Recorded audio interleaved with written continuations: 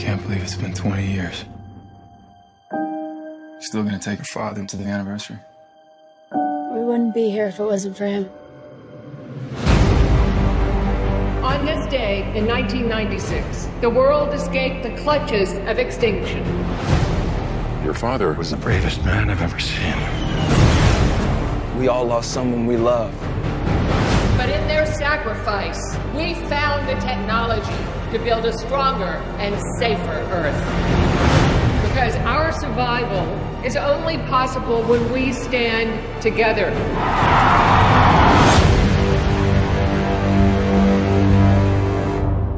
Oh my god. A distress call. Why are they screaming? They're not screaming. They're celebrating. They're coming back. It has its own gravity.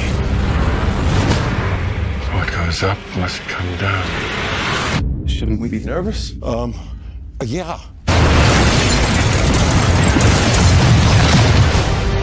Our whole lives built up to this moment. It's touchdown over the Atlantic. Which part? All of it.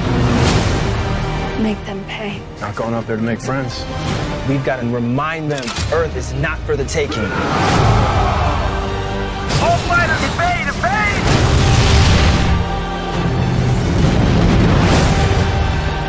I had years to get us ready. We're going down! We never had a chance. We didn't last time either. We convinced an entire generation that this is a battle that we could win. We sacrifice for each other no matter what the cost. And that's worth fighting for.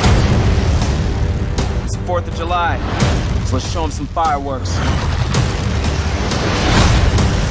Hold on!